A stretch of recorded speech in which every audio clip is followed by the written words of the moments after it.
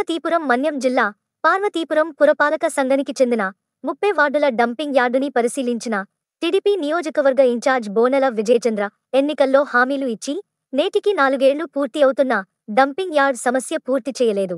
హామీలేగాని ఆచరణ మాత్రం శాన్యం. పార్వతీపురం వచ్చిపోయే ప్రజలు డంపింగ్ యార్డ్ సమస్య వలన యార్డ్ నుండి వచ్చే దుర్గంధం వలన తీవ్ర ఇబ్బందులు ఎదుర్కొంటున్నారు.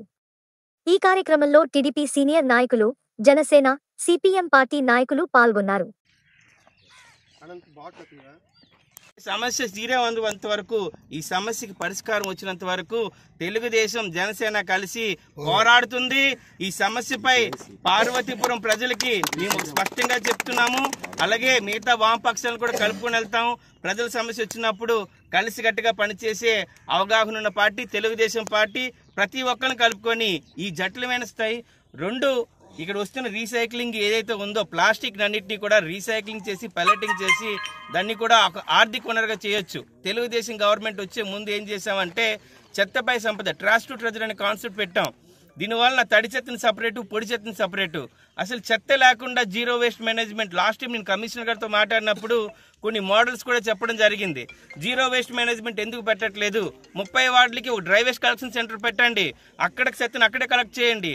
వచ్చిన తడి చెత్తని కంపోస్ట్ చేయండి. పొడి చెత్తని రీసైక్లింగ్ పంపించండి. మీకు కూడా డబ్బులు వస్తాయి. ప్రతి ఒక్కరికి జాబ్ వస్తుంది. ఈ విధంగా మనం ఏం చేయవచ్చని చాలా క్లియర్గా చెప్పాను. ఆయన కూడా ఒకటే చెప్పాడు నా చేతిలో ఏం లేదు. ఇక్కడున్న నాయకులదే అంత అన్నానని. ఒక మంచి పని చేయడానికి కూడా నాయకుల పర్మిషనా అని నేను ప్రశ్నిస్తున్నాను. సో జీరో వేస్ట్ మేనేజ్మెంట్ అని చాలా అవసరం ఉంది ఇక్కడ. ఈ రీసైక్లింగ్ చేయడం వలన ఆల్రెడీ ఈ పదాలు మళ్ళీ రీయూజ్ చేయగలుగుతాము. ఒక రీసైక్లింగ్ ప్రాసెస్ లేదు రీయూజింగ్ ప్రాసెస్ లేదు రీథింక్ అనేది కూడా అసలు వీళ్ళకి లేకపోవడం మనకి వీళ్ళు ఇక్కడ మున్సిపాలిటీని ఏలడం అనేది ఒక దురదృష్టకరమైన విషయం. ఒకవైపు ర్యాపిడ్ అర్బనైజేషన్ అవుతుంది అలాగే వేస్ట్ కూడా వస్తుంది. ఇది చాలా ఇనిషియల్గా ఏంటంటే చాలా తక్కువ ప్లేస్లో స్టార్ట్ చేశారు. ఇప్పుడు ఎంతవరకు విస్తరించిందంటే ఐదారు ఎకరాల వరకు విస్తరించింది. విస్తరించు పోతే రోజు వచ్చే వేస్ట్ని వీళ్ళు ఎలా హ్యాండిల్ చేయగలుగుతారు? వేస్ట్ అనేది ఆగదు. రోజు వేస్ట్ అనేది ప్రొడ్యూస్ అవుతుంటుంది. ఎవరైతే జనరేట్ చేస్తున్నారో వాళ్ళకు కూడా రెస్పాన్సిబిలిటీ ఇచ్చేటట్టు మున్సిపాలిటీ మున్సిపాలిటీ ఉన్న మేనేజ్మెంట్ కూడా తీసుకోవాల్సిన అవగాహన ఉంది. గలుగుతారని వాళ్ళకి నేను సూటిగా ప్రశ్నిస్తున్నాను. తెలియకపోతే తెలిసి నేర్చుకోమని అడుగుతున్నాను. మిగతా మున్సిపాలిటీలు ఎలా జరుగుతున్నాయి? సాలూరులో ఎలా జరుగుతుంది? వైజాగ్లో ఎలా జరుగుతుంది? విజయనగరంలో జరుగుతుంది? పార్వతీపురంలో ఎందుకు చేయలేకపోతున్నారని నేను ప్రశ్నిస్తున్నా. అంటే అలాగే మన రజకులు వాళ్ళు ఉపయోగించే దీన్ని కూడా వాళ్ళకి జీవనోపాధి పోయింది. అంతేకాకుండా రైతులు దీన్ని సాగునీటి కింద వాడుకునేవారు. ఇప్పుడు వాడుకోలేనంత పరిస్థితి. వాటర్ బాడీ మొత్తం లీచెట్ అయిపోయింది. అది టెస్ట్ చేస్తే తెలుస్తుంది.